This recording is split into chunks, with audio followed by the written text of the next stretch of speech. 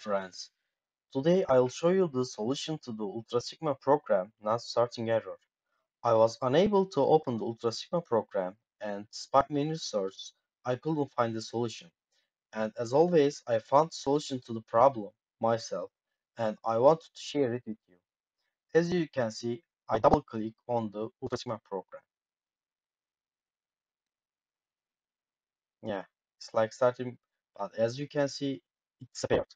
Now, let's go to the solution.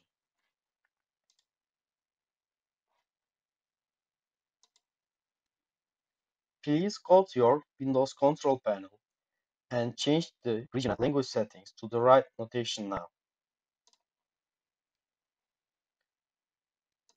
We need to change it to uh, English.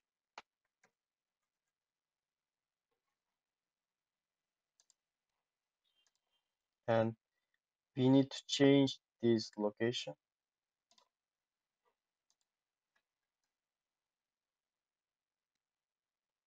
to English. Okay. And we need to restart our computer.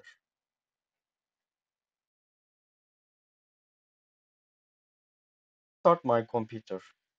Let's double click on Ultra Sigma program.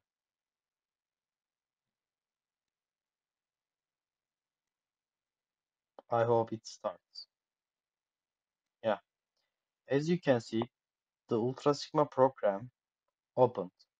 Thank you for watching and I hope it was helpful.